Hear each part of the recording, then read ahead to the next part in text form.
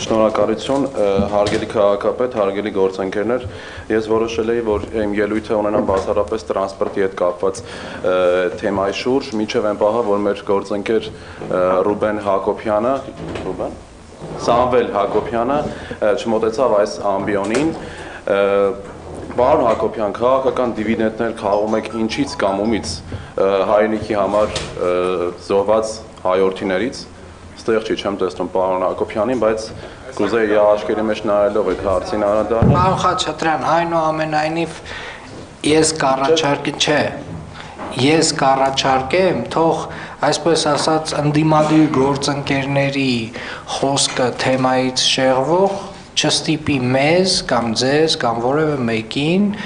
թեմայից շեղվել։ Բոլոր մնացած հարցերը թողեք ինձ վրա, ես կկարգավորեմ։ Խնդրում եմ խոսեք թեմայի շրջանակում։ Շատ լավ։ Տրանսպորտի մասին ֆիքսենք, որ կվերանայվեն, ինչպես նշեց պարոն Գրիգորյանը,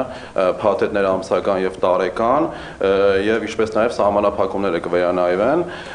եւ ես էլ ինչպես պարոն քաղաքապետը հորդորում եմ մեր գործընկերներին վերադառնալ ավելի կառուցողական դաշտ եւ խոսել բացառապես Երևանի խնդիրների մասին, որովհետև մենք բոլորս Երևանի ավականու անդամներ ենք եւ հարգենք մեր պետության ինստիտուտները եւ բոլորս զբաղվեն իրենց գործերով։ Շնորհակալություն։